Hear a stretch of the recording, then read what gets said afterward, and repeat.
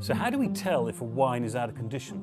When you're in the restaurant, the waiter comes over and asks you if you'd like to taste the wine. He's not actually asking you if you like the wine. And when you pick that glass of wine up and stir it round and have a sniff, in most instances, that's all you need to do because what you're looking for is to see if the wine is fresh and looking at the colour to see if the wine is clear and bright. The most common fault is the smell of cork in the wine.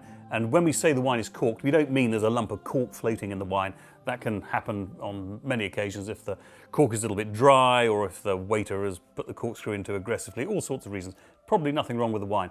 When we say corked, we mean that there is a smell in the wine of old books or damp cardboard or mouldy cellars. Uh, and this is where a, a, rather nasty little fungus, which is always present in cork, has come to life. And it has its shortened name, TCA. And the presence of this TCA, or corked nature in the wine, has that bouquet I've mentioned, but then if you want to be doubly sure, you taste a little bit of it, and in the mouth it'll be bitter, sour, it'll suck the vapour out of your mouth and you know you've got a bad bottle of wine, you then hand that back to the waiter and say, I'm afraid this wine is corked. And you must be brave, because if it's in there, it won't be pleasant to drink, and very often it won't go away. In fact, it might just get worse.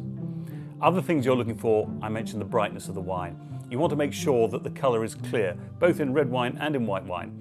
If it's not, if it's got a little bit of oranginess to it in a white wine, or if the red just looks a little bit musty um, or a little bit cloudy, then this could be that the cork has dried out a bit and air has got in. And if that happens, the wine can oxidize, which is the early stages of turning it into vinegar.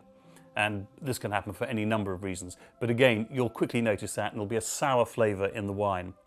Another change in the color can be caused if the wine has been badly stored. And if it's got warm while it's been stored or the temperature has fluctuated too much, then a process called maderization has taken place. And this is where the wine is turning on its way to a product named after the island from which it comes from, Madeira or port-like. Uh, this may not always be unpleasant, but it is possibly not what you're expecting. And so when you again smell the wine, you'll get a prune-like smell to it. It'll have a caramel sort of overtone to it. And in the mouth, it'll have this rather sort of, we call sort of jugged fruit-like flavour to it. Again, it's not right. You can ask a waiter to take it back. Also, of course, if you've bought these wines from a retailer, then you can take them back. If they've been badly stored and it's not your fault. You may struggle more with corked wine because that is not the fault of the merchant, it's not the fault of the producer, it's a natural phenomenon. But these are the main things you're looking for when you're tasting wine to make sure that you're going to have the best possible drink that you've purchased.